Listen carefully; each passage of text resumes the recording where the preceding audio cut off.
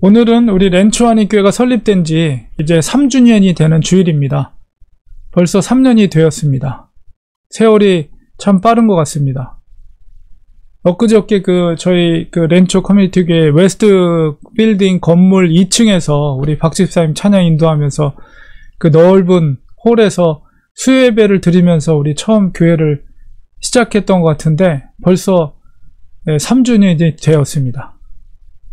우리 교회 생일을 맞으면서 우리 함께 했던 성도님들과 우리 기뻐하고 축하하기를 원합니다. 여러분 3년 동안 정말 수고 많으셨습니다. 아마 여러분들의 수고와 땀 흘림이 아니었다면 오늘까지 이르지 못했으리라고 저는 봅니다. 하나님의 은혜였음을 고백합니다. 이제 오늘이 지나면 새로운 사전을 향해서 우리가 새롭게 출발하게 되는데요. 자, 이 시점에서 우리가 교회란 무엇인가 그 성경적인 의미를 다시 한번 되새기기를 원합니다.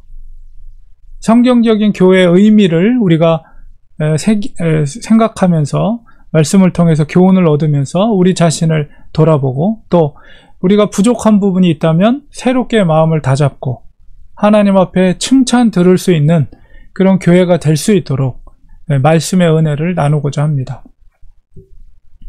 에베소서는 사울의 옥중서신 중에 하나입니다. 로마에서 가택 연금이 된 상태에서 바로 에베소 어, 아시아적에 있었던 에베소로 쓴 편지입니다.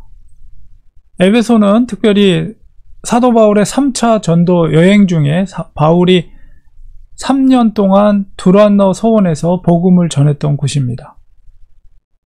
에베소 교회는 사도 바울이 많은 애정을 쏟았던 곳입니다. 특별히 에베소 지역은 지리적으로 보면 관문 도시, 소아시아의 관문 도시로서 이제 동서남북의 육로와 또 바닷길, 해로가 만나는 지역입니다. 그래서 그 에베소 지역에는 많은 사람들이 무역하는 사람들, 비즈니스 하는 사람들, 뭐 여러 다양한 많은 사람들이 모이는 도시였고 바로 그런 도시였기 때문에 바울은 에베소를 거점으로 해서 지역을 소아시아를 돌아다니면서 수많은 사람들에게 복음을 전했습니다.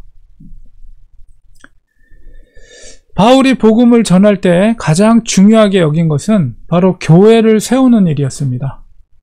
여기서 말하는 교회라는 것은 건물로서의 교회가 아니라 바로 그리스도인의 공동체입니다. 바울은 이 교회를 세우는 일에 전력을 다했습니다. 에베소서는 특별히 무엇보다도 그 교회에 대한 가르침을 전하고 있습니다. 에베소서의 핵심적인 주제는 바로 교회의 머리 대신 그리스도 그리고 그리스도 안에서의 교회의 하나됨을 강조하고 있습니다. 우리 교회의 머리가 그리스도가 되신다면 교회는 바로 그 그리스도의 몸인 것입니다. 그렇기 때문에 교회는 화평을 이루고 하나가 되어야 된다는 것을 에베소서에서 강조하고 있어요. 오늘 읽은 본문을 중심으로 해서 오늘은 그 교회의 성경적인 의미를 다시 한번 살펴보겠습니다. 우리 13절을 보면 그리스도의 몸으로서 교회가 먼저 추구해야 될 것이 뭐냐라고 했을 때 13절 전반부에 그것은 바로 하나님의 아들을 믿는 것과 아는 일에 하나가 되는 것입니다. 먼저 우리가 그리스도를 알아야 합니다. 사도 바울이 에베소에서 무엇을 했습니까? 제일 먼저 그가 유대인 회당에 들어가서 거기서 이제 유대인들 혹은 헬라인이라 하도 라고 하더라도 유대교를 믿고 있었던 헬라인들을 만나서 구약의 말씀을 가르치고 그 예언된 말씀 속에서 그리스도를 가르쳤습니다. 왜 예수님께서 길이며 생명이며 진리인지를 그들에게 가르쳤어요. 사람들은 그 가르침을 통해서 예수님을 알게 되었습니다. 바울은 믿음이라는 것은 이렇게 들음에서 난다라고 말하고 있습니다. 말씀을 들을 때에 성령님께서 그 듣는 자들의 심령 가운데 믿음이 생기게 하는 것이죠. 물론 듣는 모든 사람들에게 믿음이 생기는 것은 아닙니다. 그러나 분명한 것은 말씀을 들을 때 믿음이 생기게 됩니다. 예수님을 하나님의 아들로 알게 되고 또 성령으로 말미암아 그것을 믿음의 자리로 이제 옮겨지게 되는 것이죠. 그래서 그 아는 것, 그 지성 가운데 성령의 기름 부음이 있을 때에 그 지성은 생명의 지성이 됩니다. 아는 것이 믿는 것이 하나가 될 때 그리스도인으로 자라나게 되는 것입니다. 그래서 그 결과에 대해서 13절 중반부에 보면 온전한 사람을 이루어 그리스도의 장성한 분량이 충만한 데까지 이르게 된다. 이렇게 말하고 있어요. 여기서 온전한이란 헬라어가 텔레이오스라는 단어를 쓰고 있는데 이 의미는 완성을 위해서 필요한 것이 아무것도 없는 이런 의미를 담고 있어요. 그러니까 완전히 모두가 끝나버린 퍼펙트한 이런 의미를 담고 있는 거죠. 그러니까 아는 것과 믿는 것이 결합될 때 그 능력은 놀라운 힘을 발휘하게 됩니다. 그리스도의 장성한 분량이 충만한 데까지 이르게 됩니다. 그런 사람은 성령의 능력으로 사는 사람들을 의미합니다.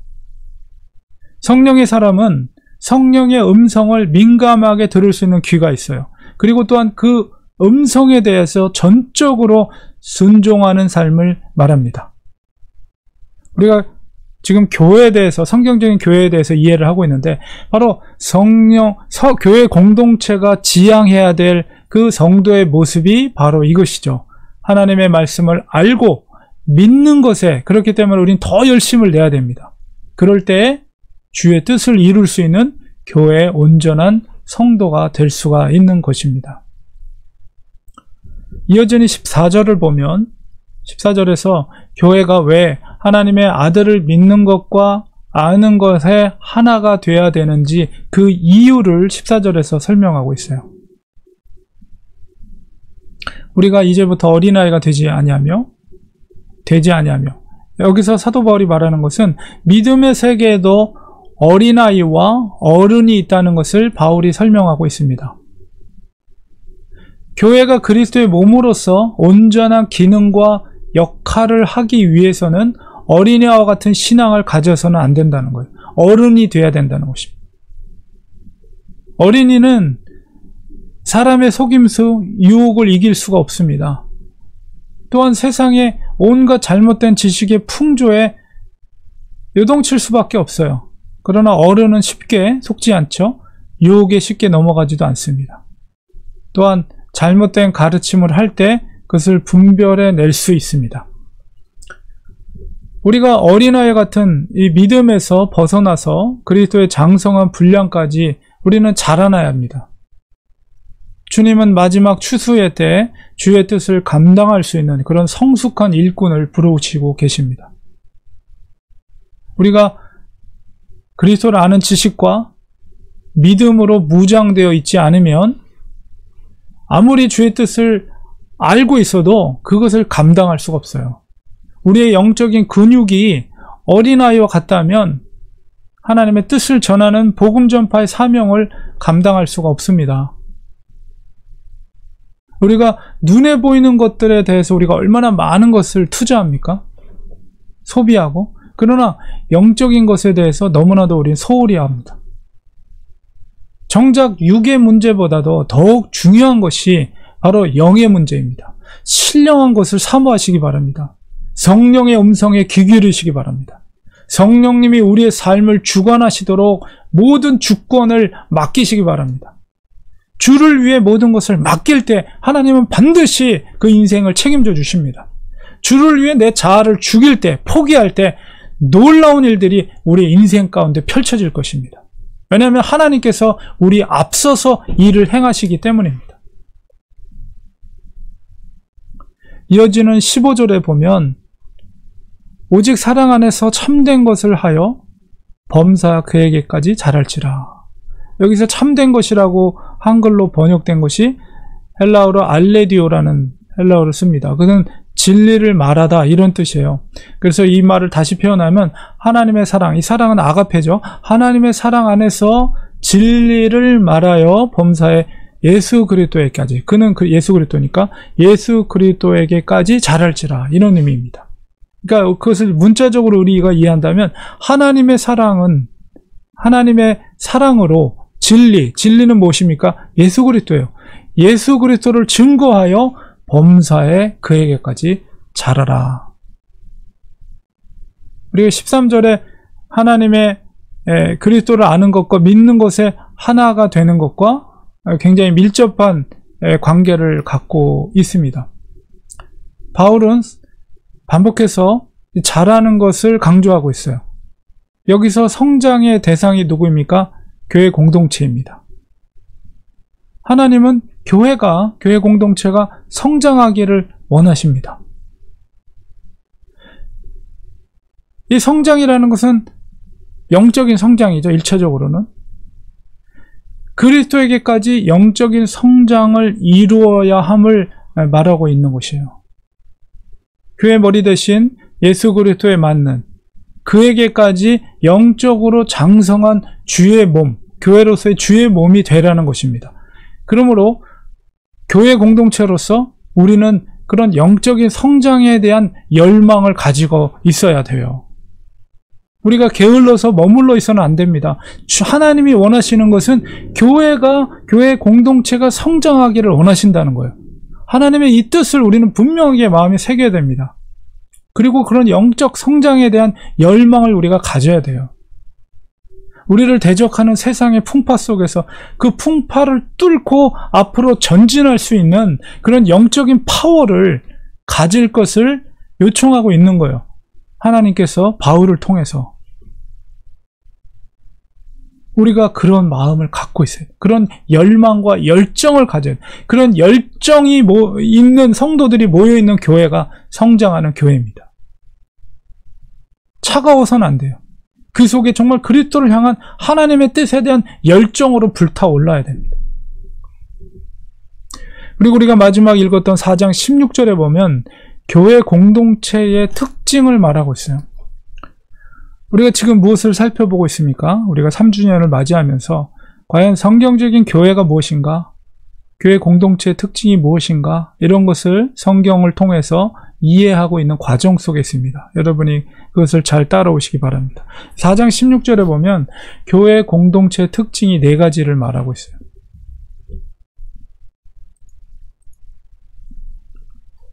첫 번째, 교회 공동체의 특징은 머리 대신 그리스도로부터 연결되어 있다는 거죠. 16절 그에게서 온몸이 마디를 통하여 연결되고 이렇게 되어 있습니다.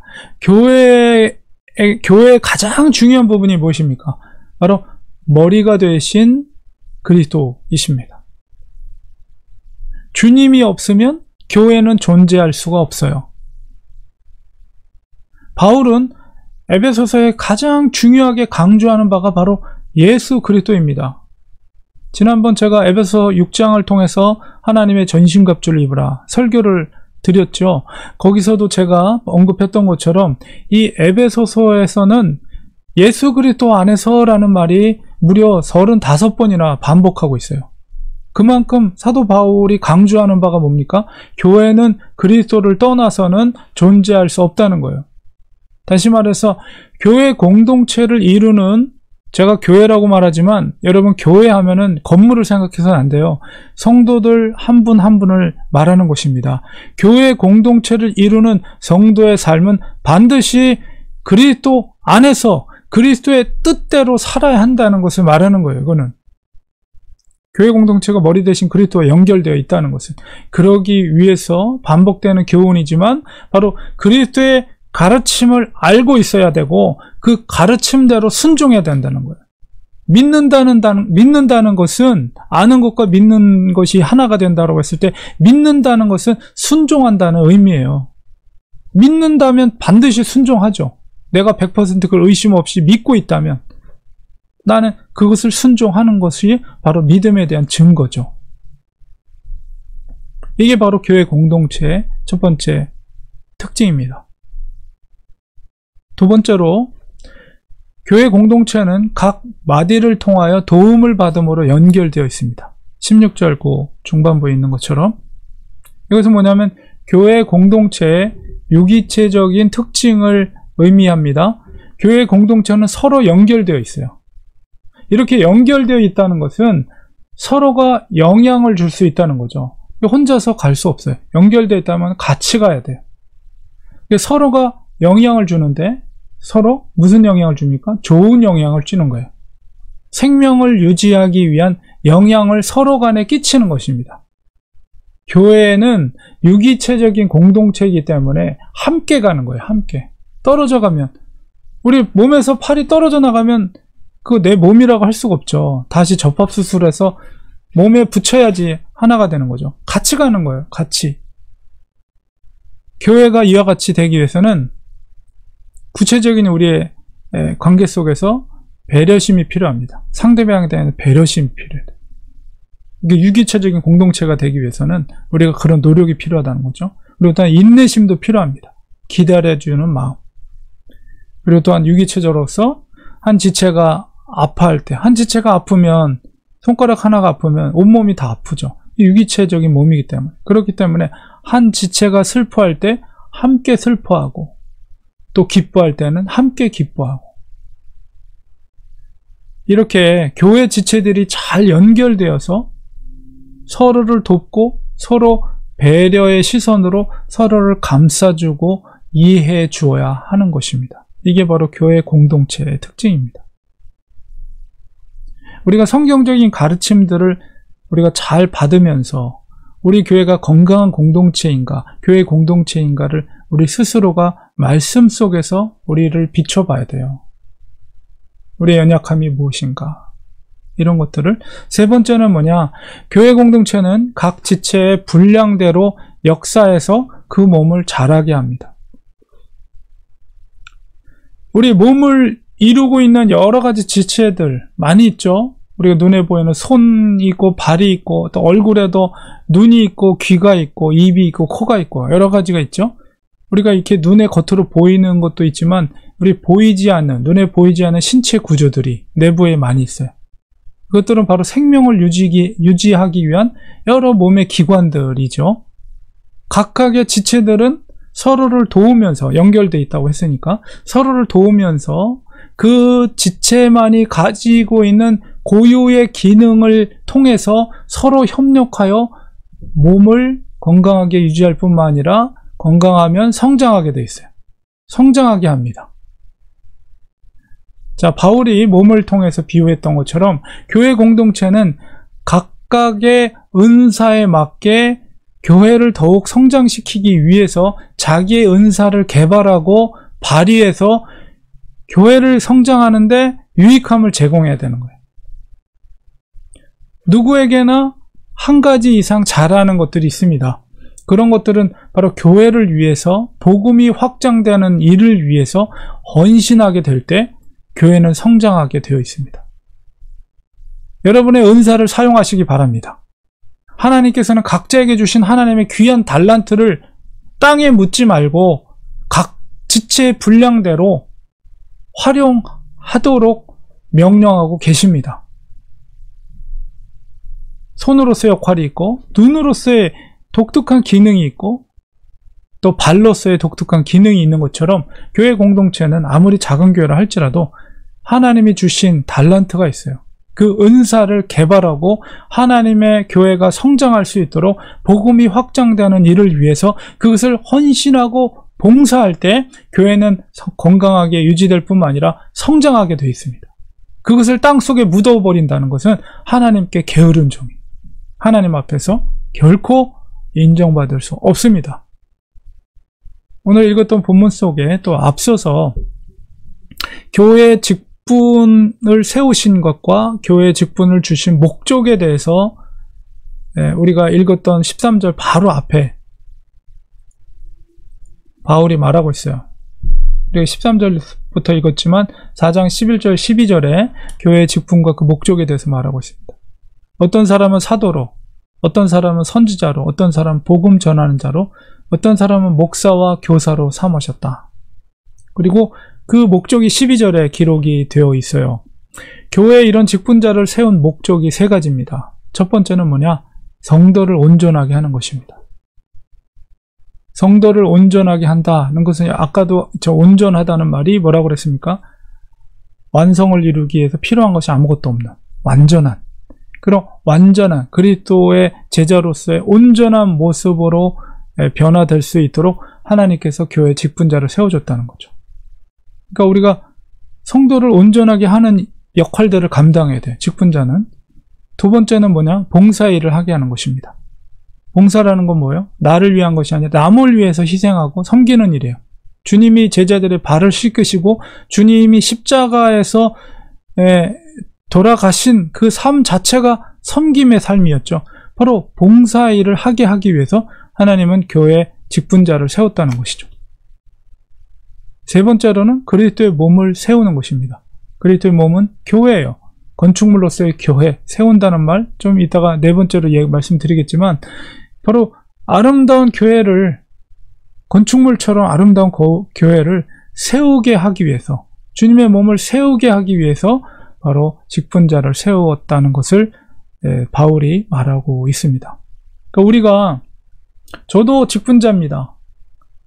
오, 오늘날 한국 교회가 너무 이제 예, 단일 목사 중심의 어떤 제왕적인 교회로 비정상적으로 교회가 세워지다 보니까 이 잘못된 관, 그, 교, 목회자에 대한 관념을 갖고 있는데, 저도 교회를 위해서 하나님 부르신 그 지체일 뿐이에요.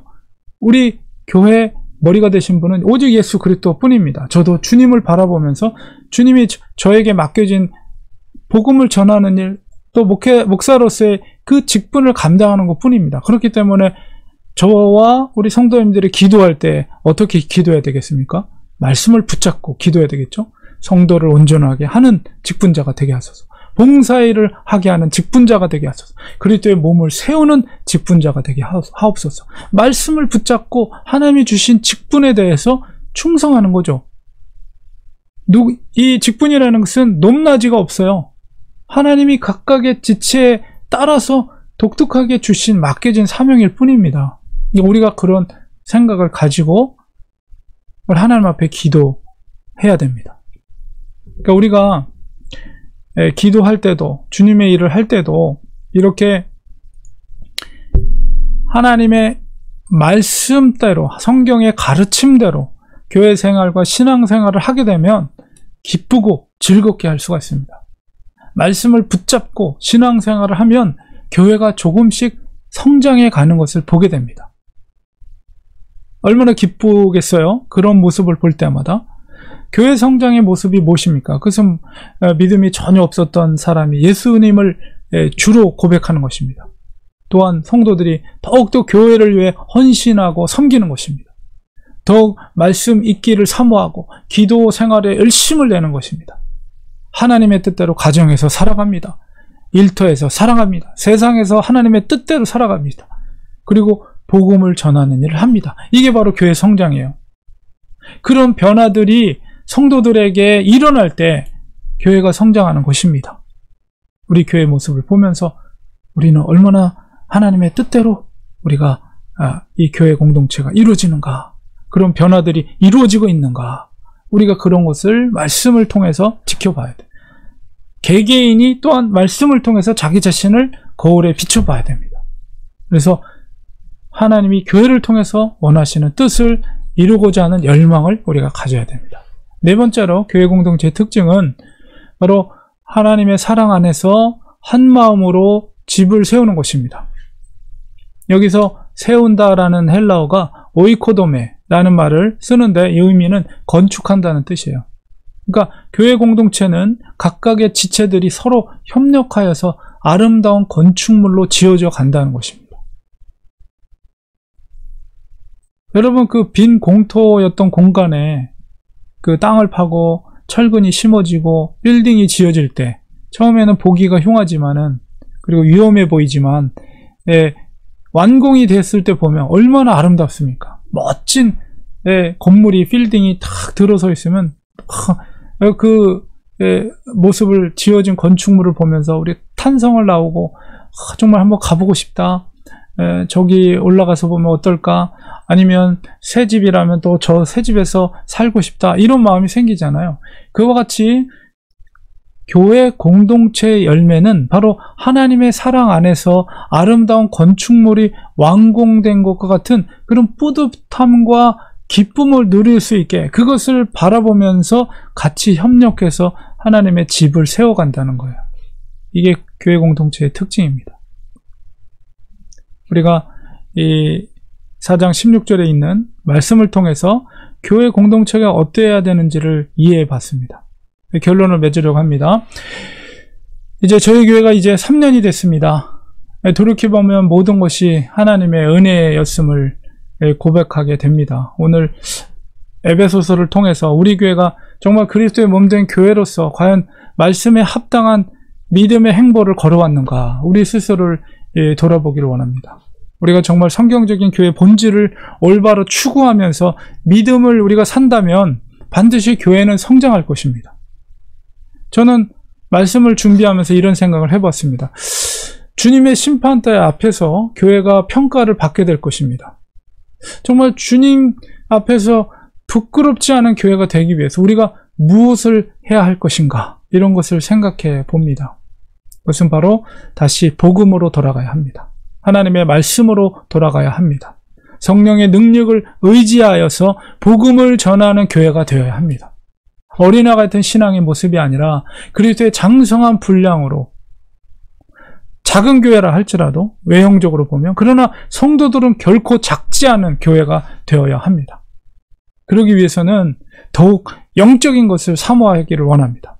우리와 함께 하시는 성령님을 의지하고 날마다 믿음과 말씀과 기도와 경건의 훈련을 통해서 영적인 근육을 단련해야 합니다. 세상의 풍파에 조금도 요동치 않는 견고한 믿음으로 우리가 살아간다면 우리 교회는 반드시 성장할 것입니다. 의인은 믿음으로 사는 것입니다. 어떤 상황 속에서도 믿음이 우리의 삶의 기준이 되게 하시기를 바랍니다. 그래서 우리가 주님의 심판대 앞에 섰을 때 우리가 섬긴 교회를 통해 우리 모두가 칭찬 들을 수 있는 렌추아닌 교회 그런 공동체 되기를 원합니다. 우리 4주년이 되었을 때 1년 후 우리 더욱 성장한 우리 공동체의 모습을 우리 보기 원합니다. 기도하겠습니다. 하나님, 오늘 말씀을 통해서 성경적인 교회란 무엇인가? 하나님이 기뻐하시는 교회 공동체의 특징에 대해서 말씀을 통해 깨달았습니다. 우리 교회가 3년이 되었습니다. 이제 4년째, 내일부터 시작이 됩니다. 더욱더 하나님께서 원하시는 교회로 변모에 되어 가기를 원합니다. 하나님은 교회가 부흥하기를, 교회가 성장하기를 원하십니다. 이것은 하나님의 분명한 뜻입니다. 그 뜻을 이루기 위해서 우리가 어떻게 해야 될 것인가에 대한 성경적인 가르침을 우리 마음판에 새기고 영적인 것을 더욱더 신령한 것을 사모하는 저희들 되기 원합니다. 성령님의 음성에 민감한 저희들이 되기 원합니다. 하나님의 성령의 말씀에 순종하는 저희들 되기 원합니다. 하나님 사랑하는 성도들 한 분 한 분 하나님께서 붙잡아 주셔서 하나님의 기뻐하시는 교회로 우리가 세워져 나갈 수 있도록 하나님의 몸된 아름다운 건축물을 건축물을 형성해 나갈 수 있도록 하나님 우리에게 성령의 충만함을 허락해 주시옵소서. 예수님의 이름으로 기도합니다. 아멘.